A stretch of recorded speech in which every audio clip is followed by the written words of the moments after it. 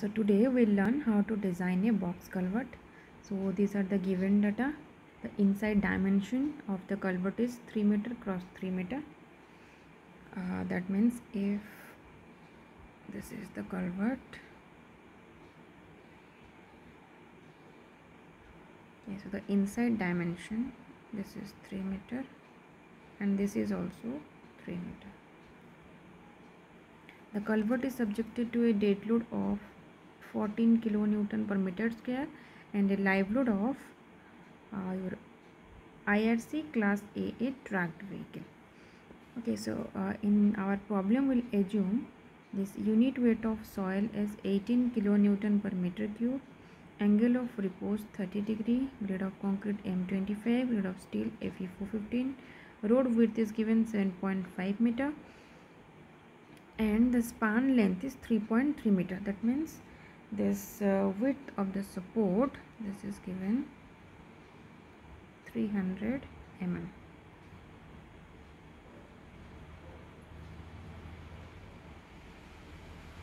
Okay.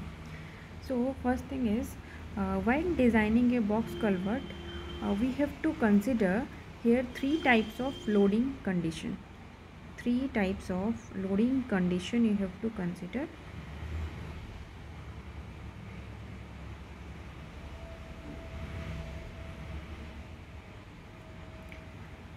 number one.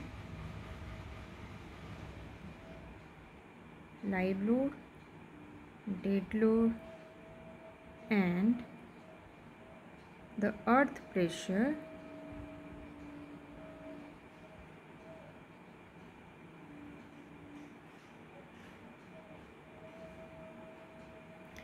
and when the culvert is empty there is no water is flowing inside the culvert. Number 2 live load dead load and earth pressure.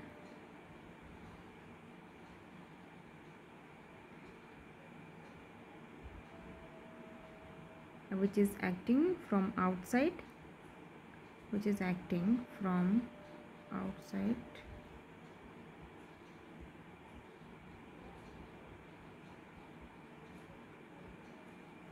And the culvert is full.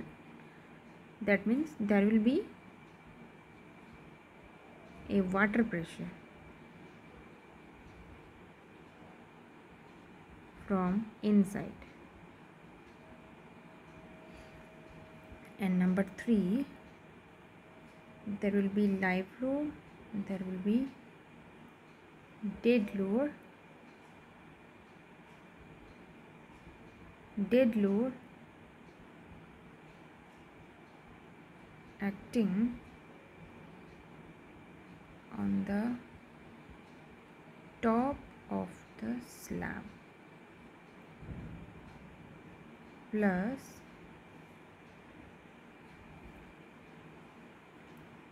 water pressure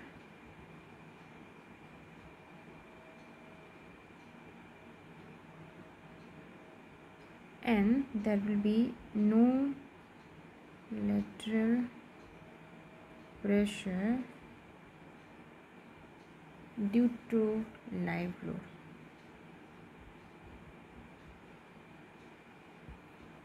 Okay, so one by one we will discuss so first come to this first case. Case 1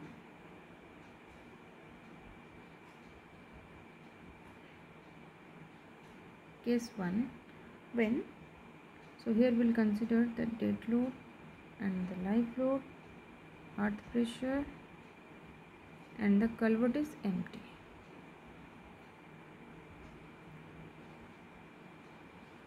that means there is no water pressure. So uh, if you draw the pressure distribution diagram so it will be like if this is the culvert so we'll have this loading on the culvert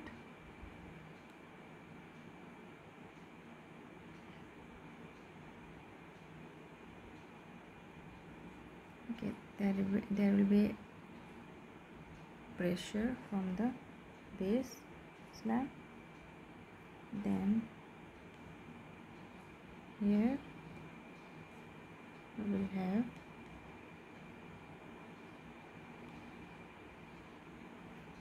earth pressure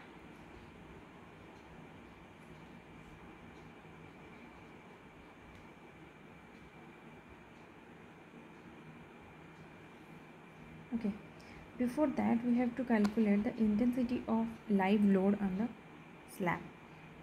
Okay what is the intensity of live load on the slab? So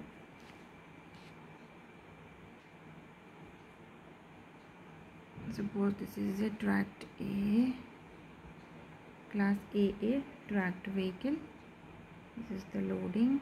So to find the width of dispersion will be like this so as per the code what is the we'll find this effective width of dispersion and effective length of dispersion. Okay so what is effective length of dispersion?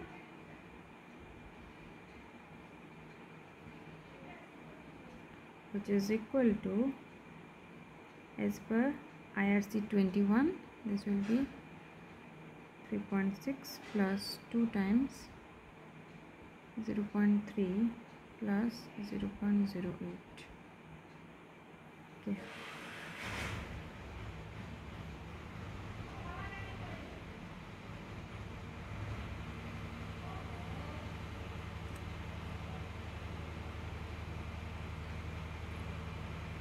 As the thickness of the wall is 300 and uh, here we have uh, our uh, this wearing coat thickness is given.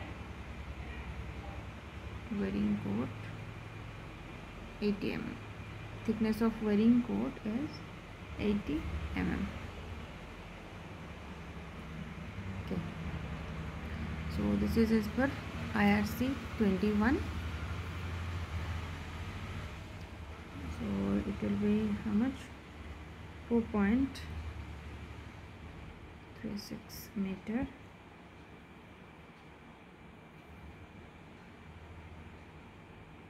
Which is which is greater than 3.3 meter. Our length is 3.3 meter. So we have to consider this effective length of dispersion as 3.3 meter. Okay. Now come to the effective width of dispersion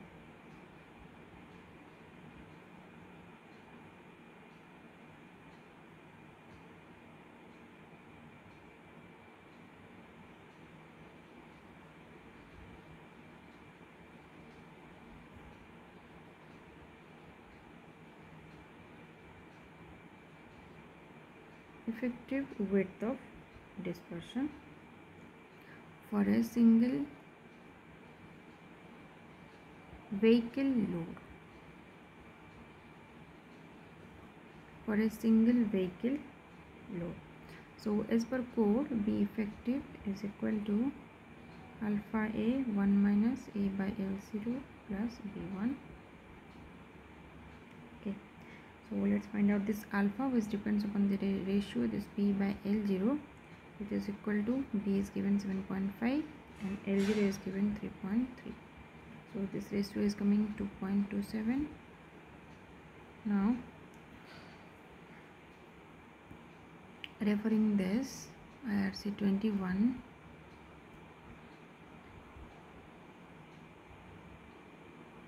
so what will be the value of alpha for 2.27 this is also 3 3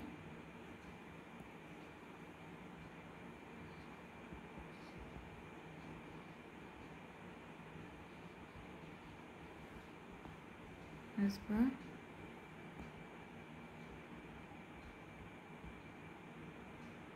IRC 21 clause number 305.16 point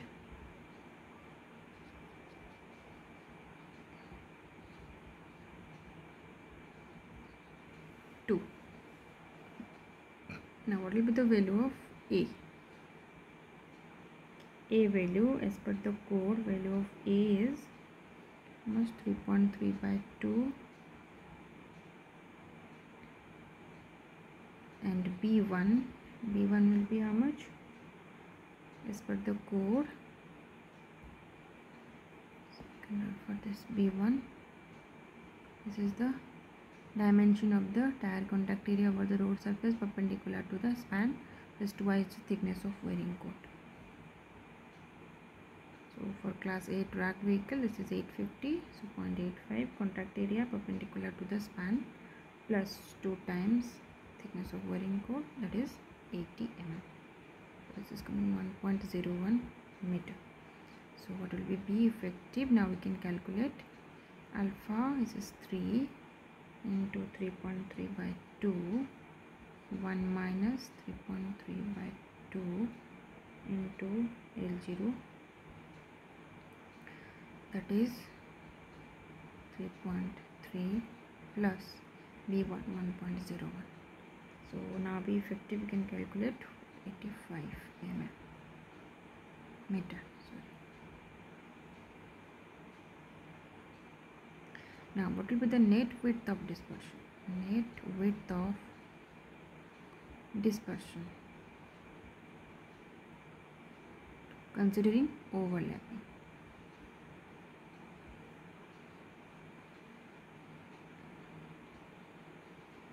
Considering overlapping it will be how much so here you can see there is uh, overlapping. Uh, so what will be the net width of dispersion so what we have calculated width of dispersion is 3.485 so this one will be 3.485 by 2 and this length will be 3.485 by 2 and from here middle of this to this class A vehicle this is 2.05 so you've calculated this in the previous video. So that will be the net width of dispersion. That will be 3.485 by 2 plus 2.05 plus 3.485 by 2 so this is coming how much? 5.535 meter okay so this is the net width of dispersion considering overlapping. Now we'll calculate the intensity of live load on the slab. Intensity of live load on the slab. Uh, so the load will be dispersed over which area uh, this is the net width of dispersion and this is the effective length of dispersion. Okay. Uh, but actually this is the effective length of dispersion but we don't have this much of length. Okay to disperse the load. So what is the calculated effective length of dispersion is 4.36 meter so that uh, total loading uh, the total loading for class a tracked vehicle is how much? 700 kilonewton. This is for 4.35 meter of dispersive length okay uh, what will be for 3.3 meter. So 4.35 meter loading is 700 kilonewton but we don't have this much of length. We have only 3.3 meter. So what will be the uh, loading we have to consider? So 700 divided by 4.35 into 3.3 so we will get 531 kilonewton now we have to consider the considering the effect of impact. Effect of impact. What is the impact factor? What is the impact factor? That we have to calculate. So 531 sorry. Uh, this is as per your IRC 6 as per IRC 6 as per IRC 6 we can calculate this. So you can see here our span length is less than 9 meter and tracked vehicle. So same for 25 5 meter linearly varying. For 10 it is 10 percent for 9 meter. 25 percent for 5 meter so you can linearly in interpolate.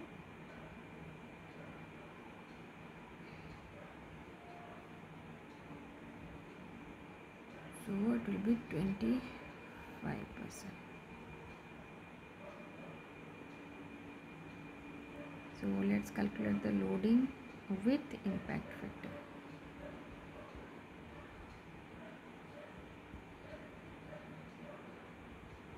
one point two five times five thirty one is equal to six sixty four kilometer.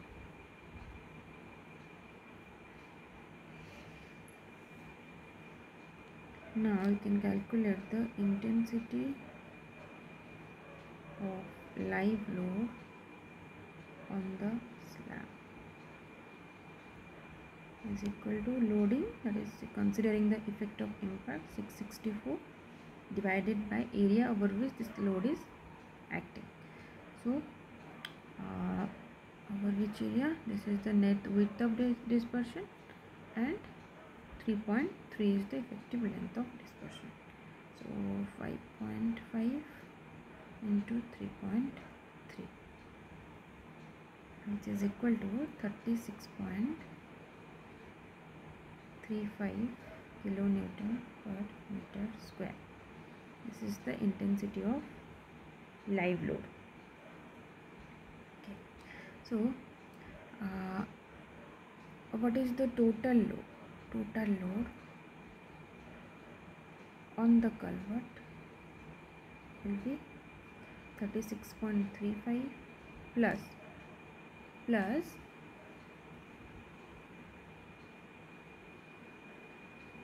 what is the given dead load there is a dead load given that is 14 kilonewton per meter. So we will add that.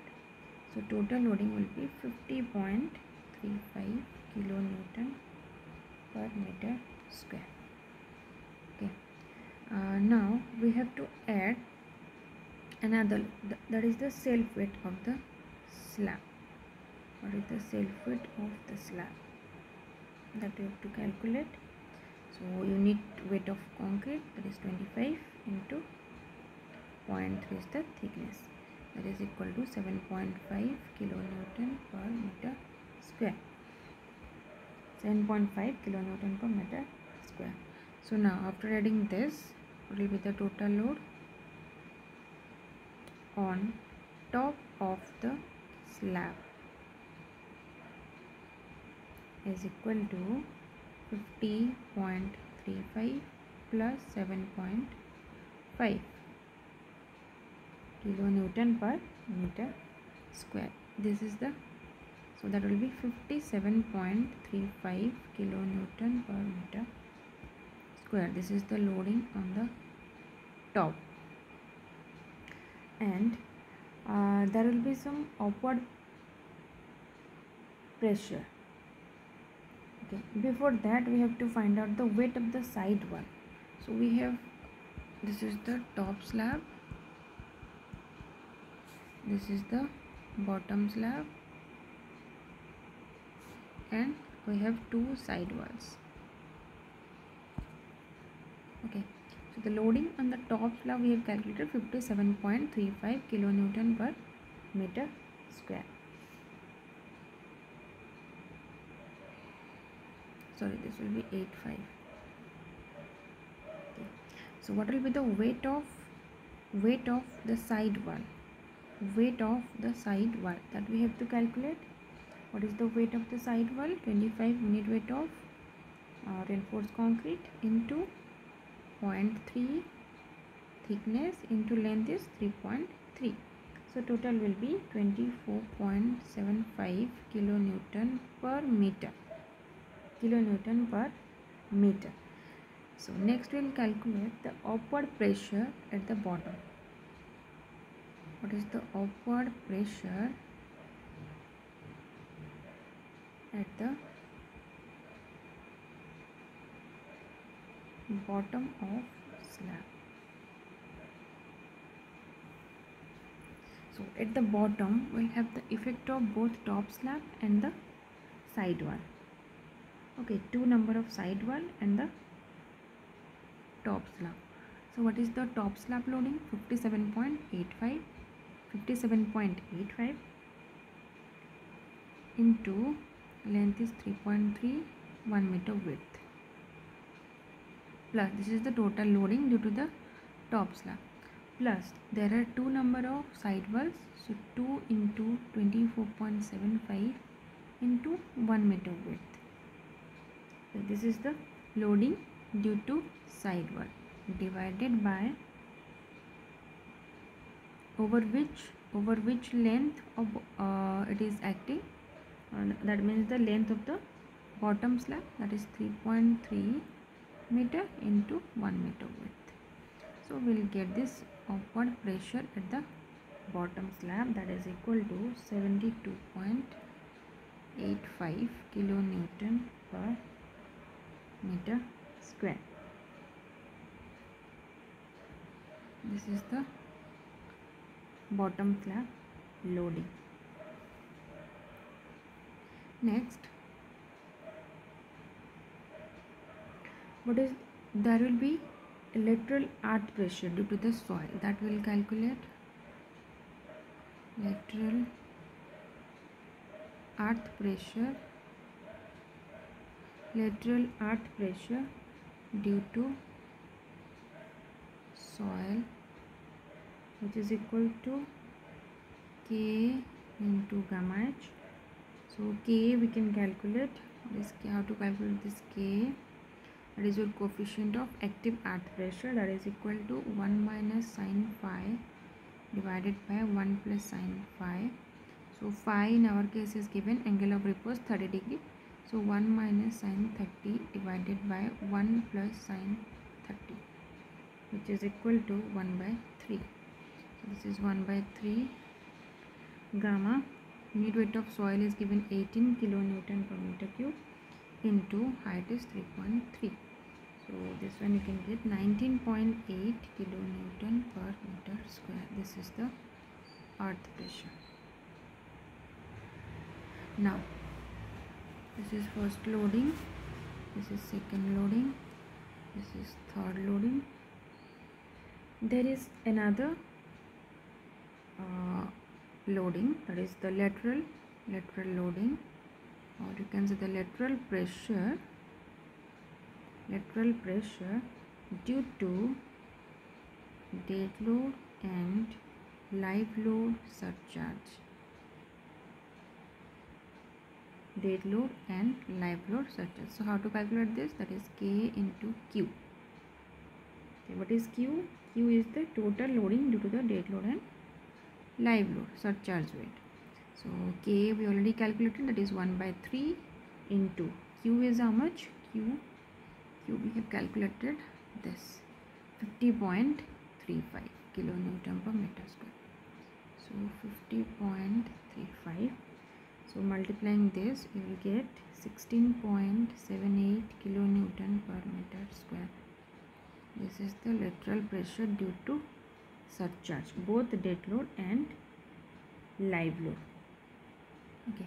Now if we draw if we draw the pressure distribution so this is for case 1 so this is the top loading that is 57.85 kilonewton per meter square. And upward pressure in the bottom slab we have calculated 72.85 kilonewton per meter square. Then there will be surcharge. This is the surcharge loading.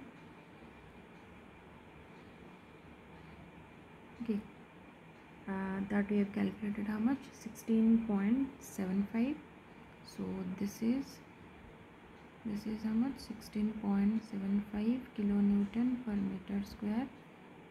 So this will be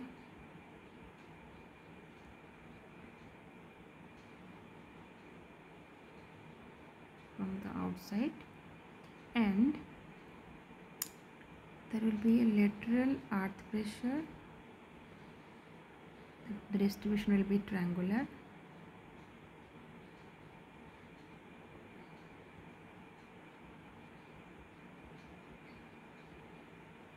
And what is the intensity? At the top it will be 0 and at the bottom it is how much? 19.8 so this is 19.8 kilonewton per meter square. And this is how much? 16.75 okay. So the total pressure here at the bottom is how much? 36.7 so 36 point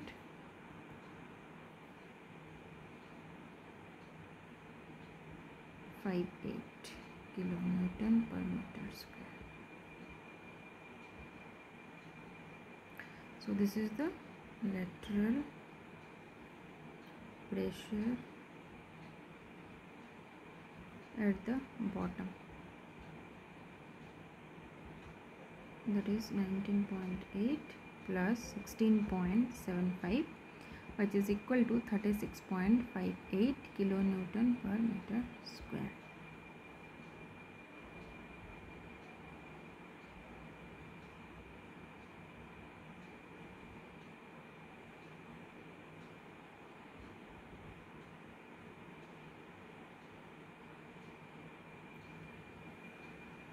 So all the loading we have calculated now moving to the next step next is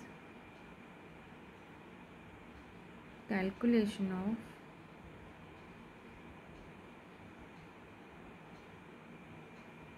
bending moment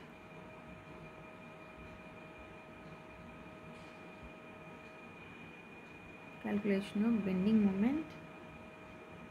Uh, so uh, you can use this moment distribution method moment distribution method.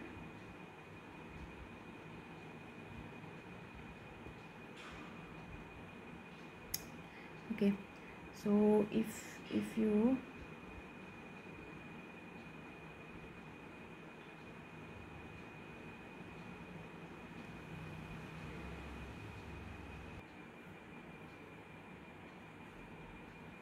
okay so we'll use this moment distribution method.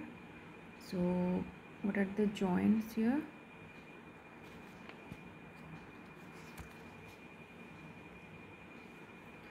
Let's say this is a this is b this is c this is d.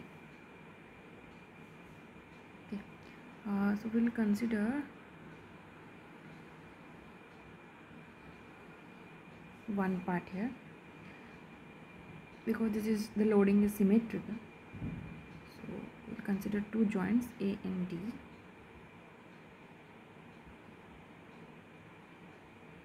So what are the members connected to this? A let's say this is e and this is f. So it will be a and another will be ad so what are the members connected to d? It will be D A and D F. Now, what is the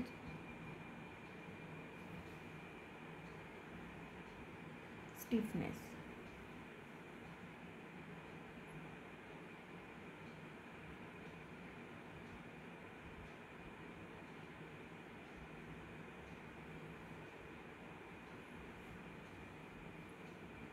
what is the stiffness so here it will be how much? 4 ei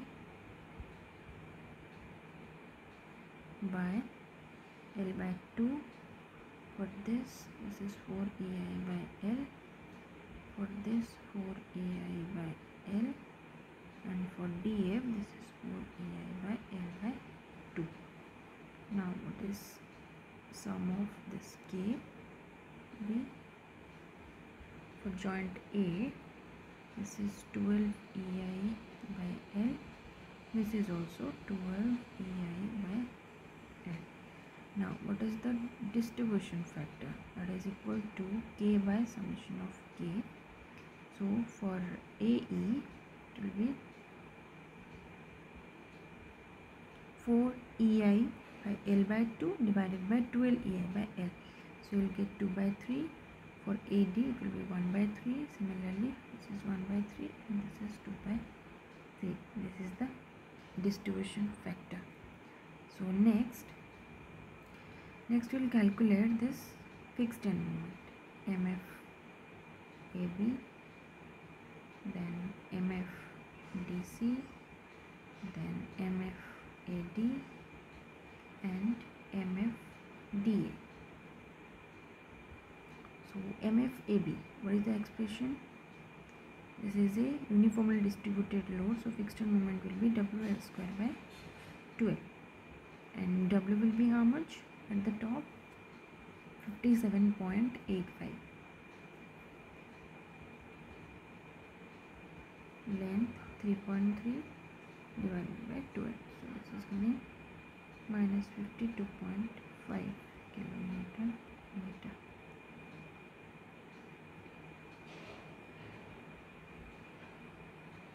MFDC MFDC will be plus WL square by 12 that is for DC DC means bottom slab. Loading is 72.85 so 72.85 into 3.3 square divided by 12 so this is coming 66.11 kilonewton meter. Next MFAD MFAD will be MFAD MFAD means this one. So this is the load this is a trapezoidal loading. Over AD there is a trapezoidal loading. So how to calculate this moment.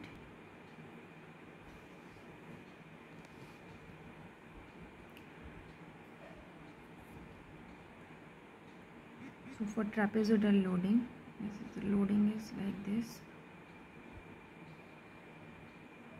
Okay. so there will be moment here like this. Uh, let's say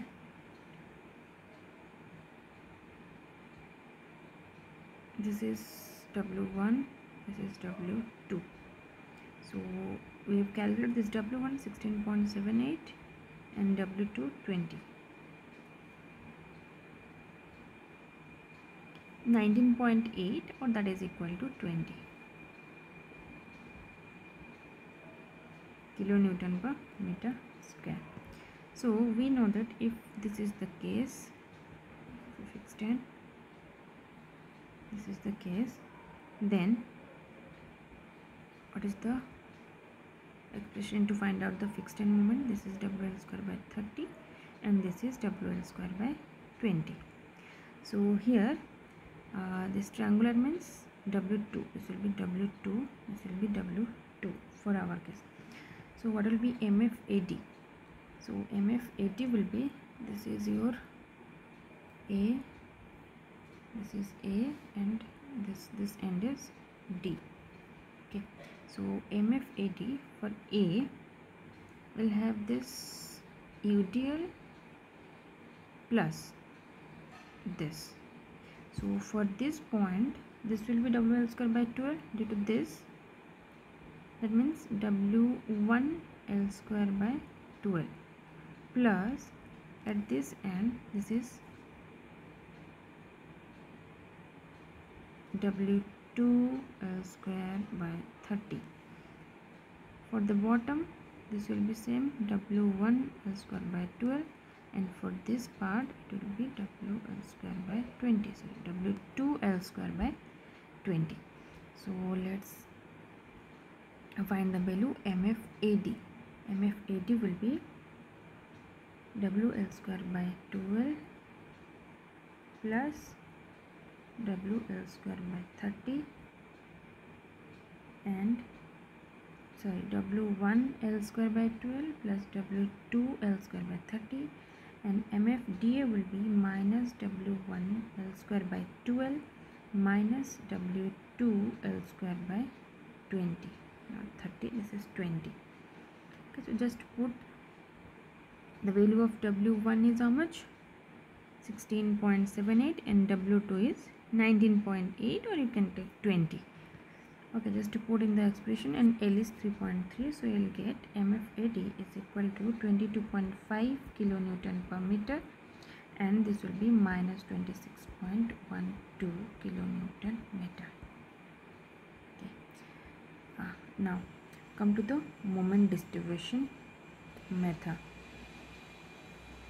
So we'll draw the moment distribution table here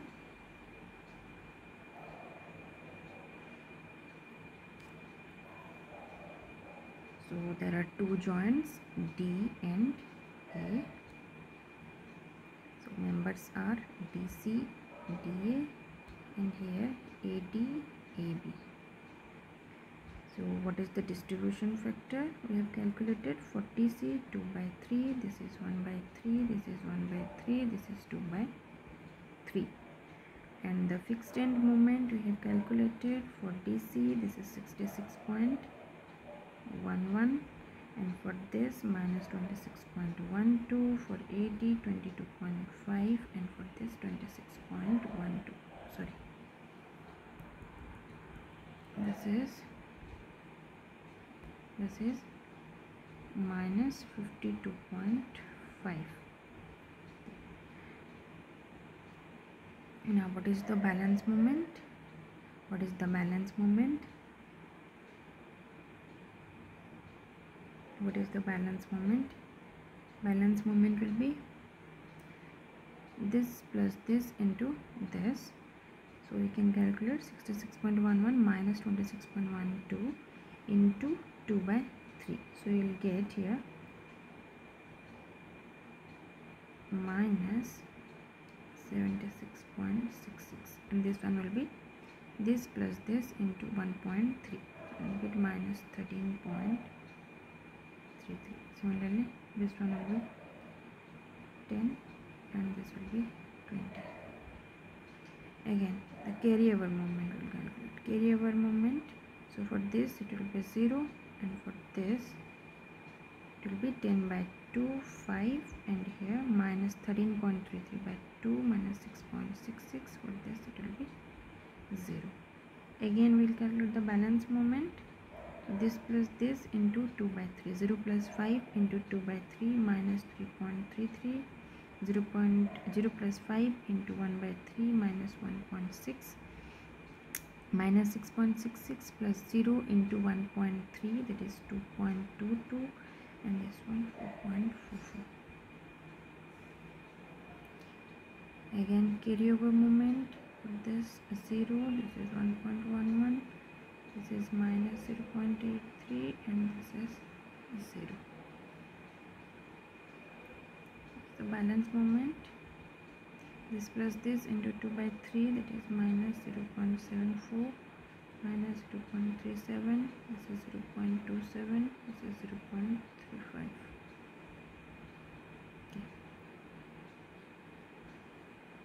it is a carryover moment 0 0.27 by 2 that is 0 0.138 this is minus 0 0.185 0 again the balance moment minus 0 0.092 minus 0 0.046 0 0.061 0 0.123 again the carryover moment 0 this will be 0 0.03 minus 0 0.023 and 0 again the balance moment minus 0 0.02 minus 0 0.01 0 0.007 0 0.015 again the carryover moment this is 0 this is 0 0.007 by 2 0 0.0035 this is minus 0 0.005 and this is 0 again the balance moment minus 0 0.002 minus 0 0.001 this is 0 0.001 and this is 0 0.003 okay. So we got this 0 0.002 we can stop here and add. So after adding this for DC we'll get this is the final end moment. This is 35.27 this is minus 35.2 this is 27.36 and this is minus 27.37 so you can check this value will be equal to this and this value will be equal to this. So this is correct. Now we'll calculate the moment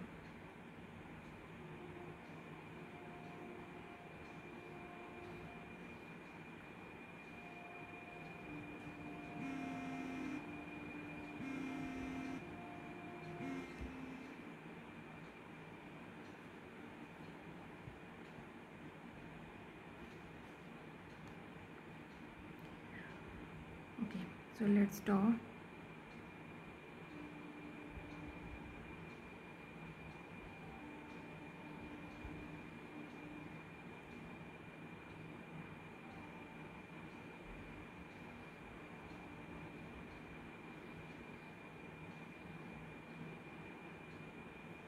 so we'll consider this one half only. Second half will be the same. So for one half you can consider both the half like this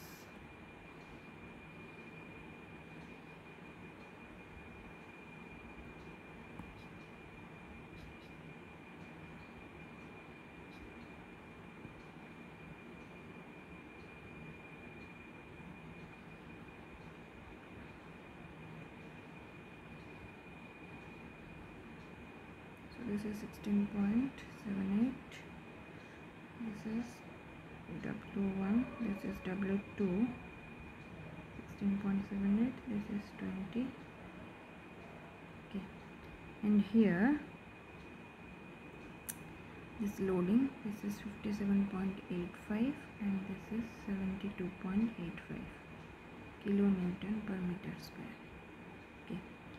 So you have to find out this moments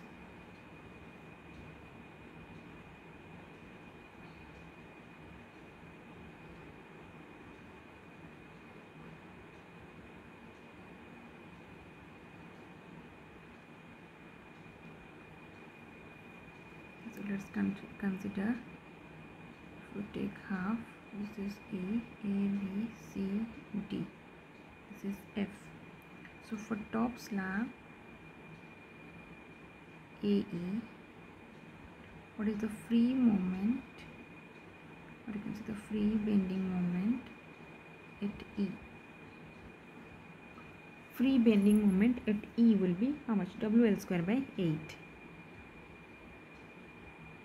so W is 57.85 3.3 square divided by 8 is equal to 78.74 kilonewton meter. So what is the net bending moment at E? We have to subtract the fixed end moment from here. So 78.74 minus the fixed end moment here we have calculated how much? This is for AB or AE this is minus 27.37 and uh, this is plus 27.37 36 or 37 same. And uh, for this this is how much? Minus 35.2 and this moment is plus 35.2 okay similarly this side it will be same so it will be 78.74 that is the uh, free bending moment at E? That is the maximum? Minus 27.37 this is the fixed end moment.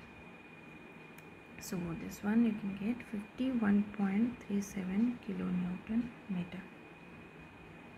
So this is the maximum bending moment at the midspan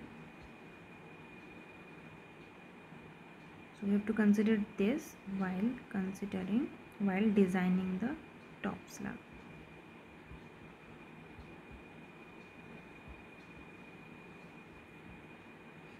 Okay.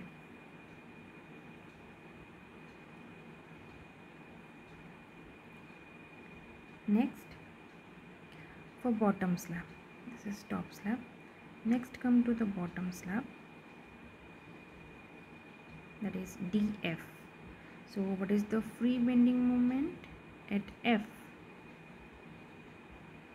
Same wl square by 8 so for the bottom case w is 72.85 kilonewton per meter square into 3.3 square divided by 8 so here we will get 99.17 kilonewton meter okay now what is the net bending moment?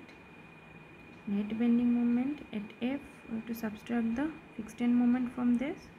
So 99.17 minus 35.2 this one which is equal to 63.9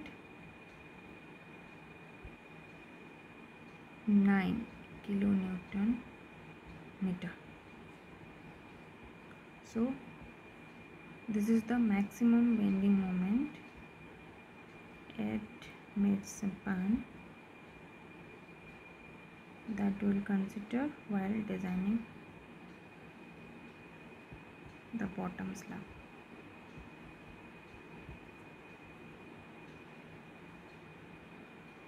Okay. Now the side wall that is AD. Now come to the side wall that is AD slab. What is the moment at the midspan?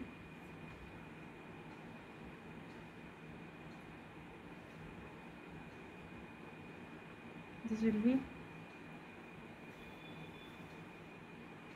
so this is a trapezoidal loading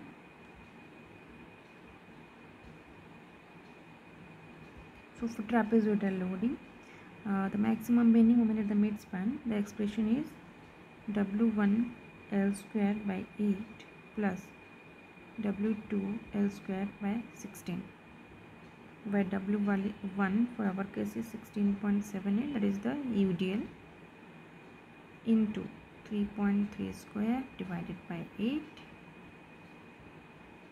plus W2 is 20 3.3 square divided by 16 so we'll get 36.45 kilonewton meter. So what is the net bending moment? 36.45 sorry. Net bending moment here will be uh, this is the fixed end moment 35.2 and 20 27.37 so the average will be this plus this by 2 minus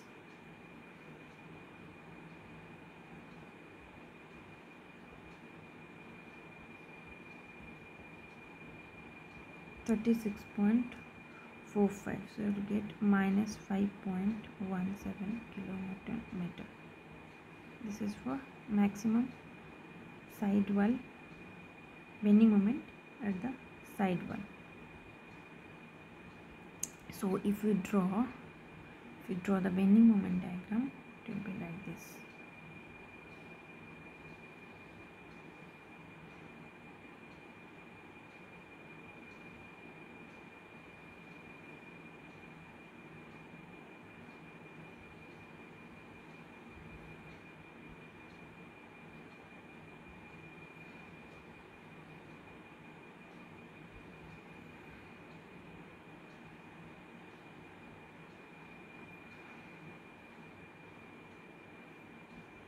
this is 27.37 this is 27.37 this is 35.2 35.2 this is also 35.2